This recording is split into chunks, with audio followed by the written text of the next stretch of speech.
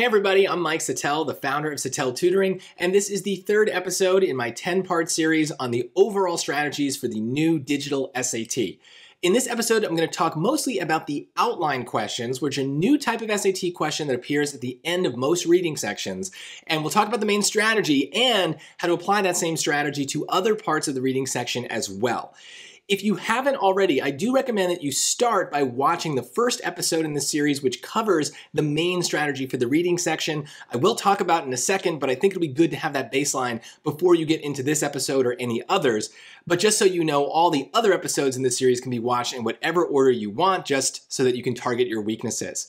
Um, but make sure too that you please subscribe to my channel so that way you're always informed whenever I release a new episode or new video, new resources. They're also going to be available on my website, setteletutoring.com. It's the best way to get free SAT prep for this version of the SAT and any future versions that come out. But let's start by talking very quickly about the main strategy for the reading section, which I have called dumb summaries. Here are the basics, but to summarize even further, just don't worry about the details in most of the passages. Think about connotations, simple ideas that you can focus on and use to narrow down your choices. You don't want to worry about every single nuance and detail, you just don't have the time. But in this episode, I am going to contradict this a little bit. I am going to make you think about the details, but not in the passages, in the questions. And so let's take a look at why that matters. And we're going to use one of these outline questions, but I'm going to present it in a weird way. Here is just the answer choices for one of these outline questions. So without any other background, let's just read these out loud. Choice A. While the Asian black bear lives primarily in forests, the American species can be found in a wide variety of habitats across North America, including wetlands and cities. Sounds cool, I guess. Choice B. Both Asian and American black bears have a varied diet that includes berries, nuts, insects, fish, and small mammals. C. Due to loss of its forest habitat, the Asian black bear is classified as a vulnerable species. D. One of two species of black bear, Ursus americanus, is commonly found in North American forests, mountains, wetlands, and urban areas. Well, if you love facts about bears, then this is great. Here's four of them. But which one is the best fact? I don't know, and neither do you. You may have a feeling, you might be drawn to a choice here, but it's completely based on you. We don't have anything to go on, and that's not good. So if all of these choices just kind of seem fine to you, that's because they are. We don't have a task yet. These questions are not testing grammar, they're not testing style, and they're not testing your opinion. So we are going to be given a very specific instruction and we're going to need to follow it. It's not in the answer choices. It's also not in these bullet points. I'll read them quickly just so you can see, but they're going to sound very familiar. While researching a topic, a student has taken the following notes. There are two species of black bear. Like most bears, black bears are omnivores, eating a varied diet of berries, nuts, insects, fish, and small mammals. The American black bear, Ursus americanus, is commonly found throughout North America in forests, mountains, wetlands, and even urban areas.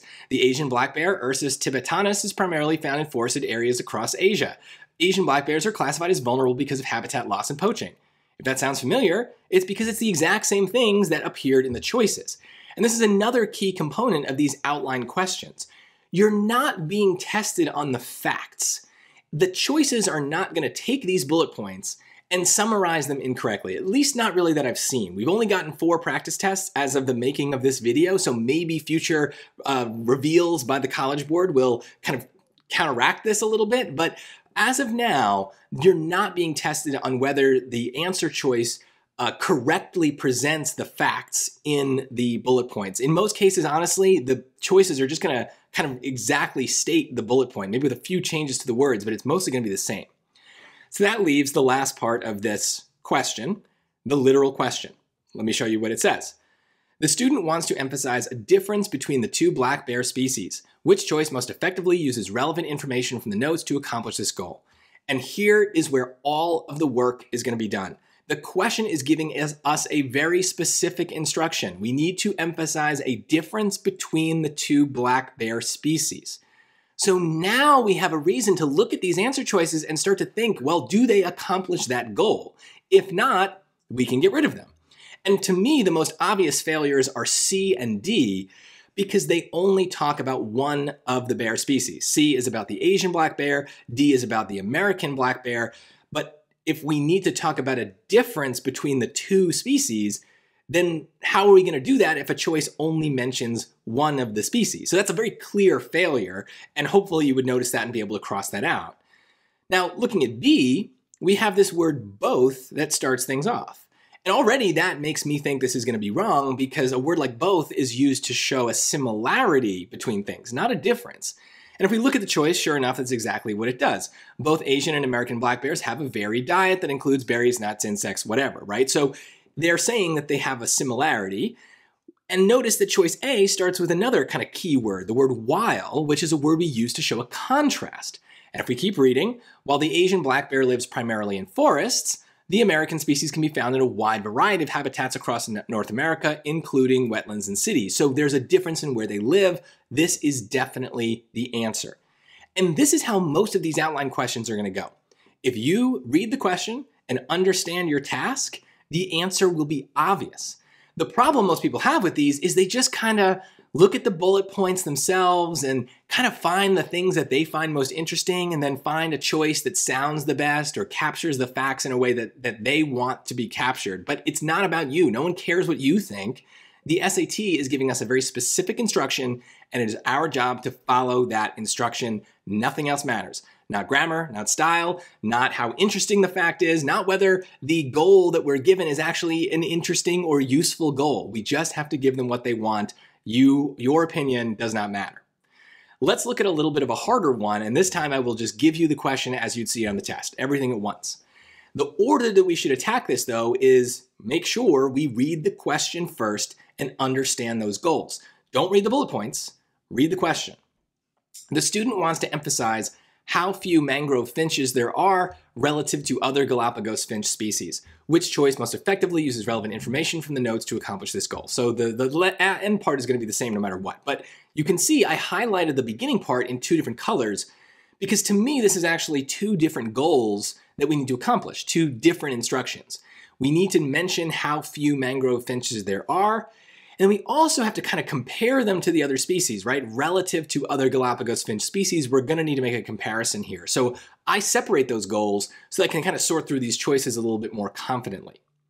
Now for our next step, some of you will want to read the outline bullet points, and that's fine. I don't think it's really gonna hurt you to do that. But so far with the practice tests that I've seen, I'm able to answer these questions uh, correctly pretty much every time without reading the bullet points at all. Uh, maybe I'll read them after and I'm sorting through the choices, but I go right to the choices here because I, if I understand the goal and I know that the choice is not going to lie about the facts and the bullet points, I don't really need to analyze the bullet points at all. I'm just looking to see which choice does the two things that I needed to do. So let's just look at choice A then. A recent study found that 10 of the 18 species of Galapagos finches are classified as of least concern because they had populations greater than 500 individuals. Well, this is obviously wrong because it doesn't mention the mangrove finch at all, and that's the first goal that we have. We got to talk about that finch. So I would go right to number uh, letter B here. I wouldn't really worry about the other goal at all. Biologist Verdugo Hammersmith found that the mangrove finch, with only 20 to 40 individuals, is critically endangered, and several other finch species are considered of least concern or vulnerable. So it very obviously talks about how few mangrove finches there are. And if you're worried about it, you can go looking for that information in the bullets, and we can see the third bullet point basically says that exact same thing, that there are only 20 to 40 individuals. So again, it's not, the facts aren't gonna be wrong, it's just gonna kind of copy paste those facts from the bullets to the choice. So we needed that fact because the question told us to get that fact. The other part maybe is a little trickier. Uh, it's critically endangered and several other finch species are considered of least concern or vulnerable. So that kind of sounds to me like we're comparing the mangrove finch to the other finches, right? It, it's it's kind of at least mentioning the other finches, so maybe that's right. I don't know. It doesn't jump out as being obviously right to me, but I would definitely keep it in the mix for now. Um, and you can see if you want to check that the fourth and fifth bullet points there kind of say the same thing. They add even more information. And it's not necessarily bad that choice B leaves out that the of least concern is 500 individuals. It doesn't need to capture everything um, but we can see where this fact comes from. So let's just look at C and see if that's any better. With only 20 to 40 mature individuals, so the mangrove finch population, we're talking about that, uh, is considerably smaller than most other Galapagos finch populations. So there I do think, again, we have this kind of comparison. They're saying it's smaller. So At this point, I wouldn't really worry whether B or C is more correct. I would look at D and see what that does, and then we'll worry about the, the slight differences later. Uh, so looking at D, uh, they kind of flip things here. While most species of Galapagos finches are classified as of least concern or vulnerable, so here they're doing the second goal first. They're talking about the other finches first, and the order doesn't matter. That's not a problem for me because it also accomplishes the second goal, or the first goal, I should say. The mangrove finch population consists of 20 to 40 individuals. So again, we're hitting that fact. And we can tell from B, C, and D, it's very obvious that that first goal is accomplished no problem, right? They In each of them, they mention the 20 to 40. But the blue goal is where it's a little trickier. And at this point, you know, B, C, and D all seem to maybe be hitting on that point. So how are we going to decide? I'm not going to go back and reread the bullet points. I'm going to go back and reread the question because that's really where this the work is done is in that question if i'm stuck between choices it's probably because i'm not quite grasping the specific instructions that they're giving me so i want to go back and make sure i really get it so what does it say the student wants to emphasize how few mangrove finches there are relative to other galapagos finch species so it sounds like we need to talk about the number of other finch species how many uh, individuals those species have. And none of them come out and say it, right? You can look at the bullet points. None of them talk about the 500 individuals in the least concern groupings. None of them talk about the 100 to 250 in the vulnerable groupings. So, how? Which one is getting close? Um, if I look at B, I do start to see a little bit of a problem.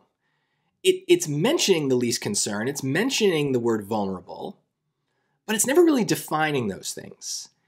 And so, is it really comparing the number of these other finches to the number of mangrove finches? It's kind of counting on us to know what vulnerable and of least concern mean in order to kind of make that connection ourselves. But we're not allowed to do that. And this is maybe why it's better not to read the bullet points to start, because you're going to absorb those facts and information, but you have to read the choices from the perspective of someone who's like reading an essay or an article, who wouldn't have access to all the outlines that the author of that article kind of put together as research to write the piece, right? So we're not allowed to read into the choices facts that are stated in the bullet points and just be like, oh, well, people would know that. Mm, no, it, has got to be in the choice itself. And let's compare that with choice C, where it still doesn't mention the number, but it uses a number word. It uses the word smaller, which is talking about how many of these finches there are. It's a smaller number, it's a smaller population. So if I'm looking at B versus C, B accomplishes the goal only if I understand what it means to be a species that is vulnerable or of least concern. Choice C, though, just comes out and says that the mangrove finch population is smaller than the other populations. It's just making a comparison. And at the at the end of the day, that is what the question is telling me to do in blue is to make a comparison. So C is going to be the answer here because it does that.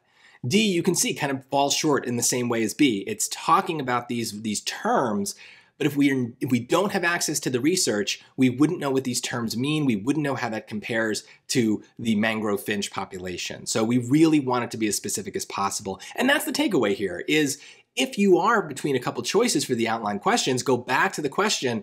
Odds are good that you just kind of miss something specific that they want, and that can help you sort through them a little bit more clearly. And this same strategy will apply to other parts of the reading section. Here's a passage question.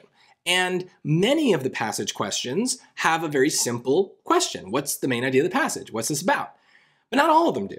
And so we have to always read the question to make sure when, when we're given specific instructions, we're actually following those instructions. So in this case, they don't seem particularly linked to the passage, but they do tell us don't worry about the whole passage. Which choice best describes the function of the underlined sentence in the text as a whole? So we have to focus on that one sentence. So I'm going to quickly read the passage. I would read everything here. Maybe some of you can get away with just reading the, the underlined part, but I, I would want to read everything for context. So it says John T. Unger came from a family that had been well known in Hades, a small town in the Mississippi River, for several generations. John's father had held the amateur golf championship through many a heated contest. Mrs. Unger was known from hot box to hot bed, as the local phrase went, for her political addresses. And young John T. Unger, who had just turned 16, had danced all the latest dances from New York before he put on long trousers. And now, for a certain time, he was to be away from home. That respect for a New England education, which is the bane of all provincial places, which drains them yearly of their most promising young men, had seized upon his parents. Nothing would suit them but that he should go to St. Midas's school near Boston. Hades was too small to hold their darling and gifted son. So, I'd probably want to do some sort of dumb summary of the underlined portion. I don't really understand all of it, but I can kind of tell that they're they're talking about education and what the parents want, and so the parents want a New England education for their son. And there's more, probably more to it, but those words I understood, and that's probably enough to just kind of get started. So let's take a look at the choices now. Choice A it provides a detailed description of John's hometown and family life. Well, John's hometown and family life are definitely talked about. They're talked about in the first half of the passage, right? They talk about Hades uh, near the Mississippi River, his father, his mother. So we're getting a lot about that. But it's definitely wrong because it's not what the underlying sentence is talking about, right? So this is a clear trap answer. They want you to pick this because they want you to just not be paying attention to what the question is asking and just kind of out of force of habit, you're just like, oh, this sounds like a good summary of the passage. So I'm just going to pick it. And because you're lazy, you might not even read B, C, and D and see what those choices have to offer. But first of all, we always have to read all the choices. But second of all, this is why the question is so important. We need to make sure we're not falling for traps like this. This is a good summary of the whole passage, but that was not our task, so it's a bad answer choice for this question. Let's keep going. It suggests that John's parents have educational values that are shared by others. Well, our dumb summary and the line did talk about his parents. Education definitely came up too. It said they have a respect for a New England education. I'm a little bothered by the end part where it says it was shared by others, but you know what? Let's worry about that later. Let's see what C and D offer and, and see if they're any better. Uh, C, it demonstrates that John is unusually talented compared to other boys in Hades. Well, talented rings a bell. They they mention at the end that he's their darling and gifted son, so that sounds like talent. But there are strong words in here that bother me, and this kind of gets to some of the thing, things I've talked about in other episodes. Unusually talented. Well, doesn't seem to suggest that he's unusually talented, and it's not really comparing him to other boys. In fact, if anything, the underlined portion seems to be saying how John is is similar to other people. So uh, this this is wrong based on you know the passage as a whole and on the line that we're being directed to. So this just doesn't seem right.